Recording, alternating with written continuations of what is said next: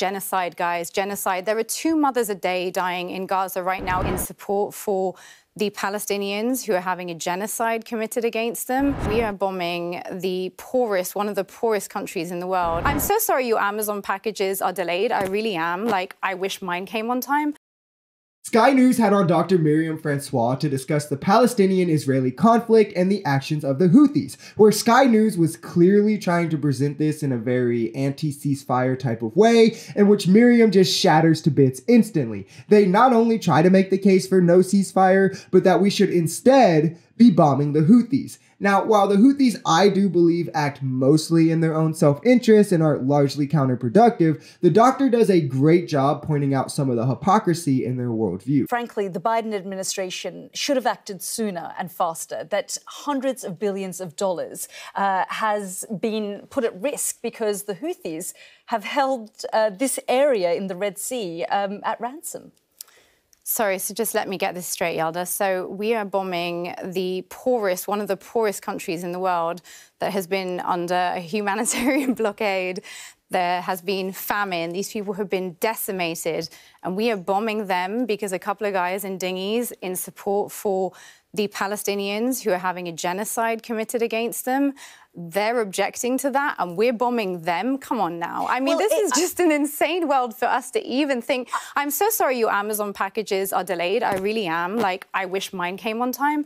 But, you know, genocide, guys, genocide. There are two mothers a day dying in Gaza right now. It's 109 days. Now, this does give a sense of legitimacy on a global scale to the Houthis, which, again, I do think is the strongest motivator for them. But to be an Arab nation, at least in show, standing in solidarity with the Palestinian struggle, is at least more than any of the other Arab nations have been doing. I mean, these are horrific acts going on in Gaza, ones at least ostensibly being justified by the United States. And and of course, those nations are going to want to thumb at US imperialism. We've indiscriminately bombed this region for decades and decades, always back their oppressors when we weren't bombing them. I mean, these are countries that aren't going to look at us with the strongest of reverence. I'm sorry to tell you guys. We don't have much legitimacy in that region. And also, this is kind of common practice for allies in geopolitics. We acted in solidarity with Ukraine. We're sending them weapons. Before we entered World War II, we stood in solidarity with our allies, sending them any assistance they need and weapons, ships, all of that.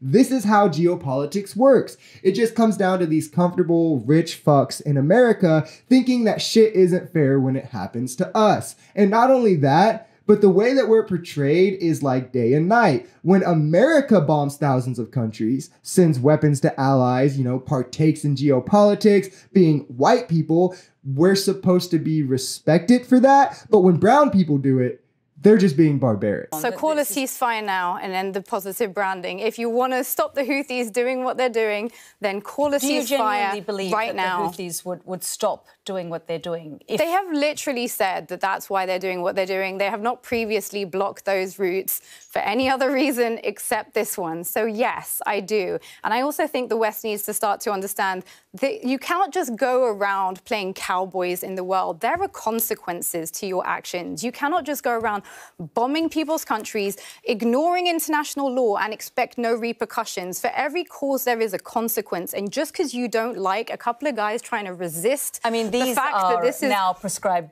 terrorists. Uh, sure, according to Western governments, well, also according to the Yemeni yeah. people, because yeah, which is a Saudi-backed been... government, yeah. which is essentially our. If you're worried about extended shipping times or raised inflation because of the Houthi attacks, to the point that you think it's justified to bomb them Consider that half a million people are starving in Gaza without electricity. What should we do about that? Whether or not you think the Houthis are truly in solidarity with Gaza and the Palestinians, I do think if a ceasefire is called, they would stop. I mean, they would have to. They weren't doing it prior to these attacks, and the optics clearly change if a ceasefire is called. Right now, it gives them legitimacy. It's a show of strength. If a ceasefire was called and they continued to make these attacks, they would undoubtedly get blown off the map by America. There's no reason to think if this continues, this that this would continue if a ceasefire was called. Obviously, there is just something to be said about now calling for a ceasefire in response to actions like this and it potentially justifying countries acting like this to get what they want down the line.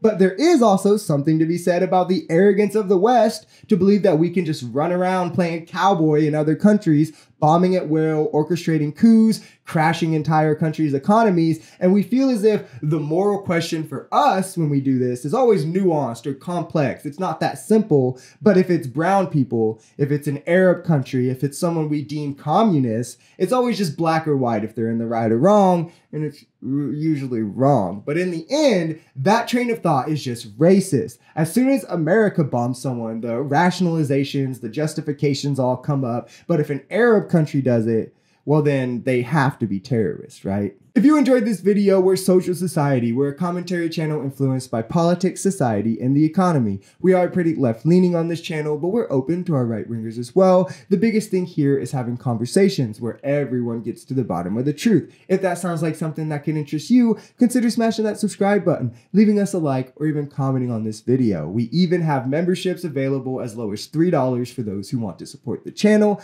because the only way we become a society is together.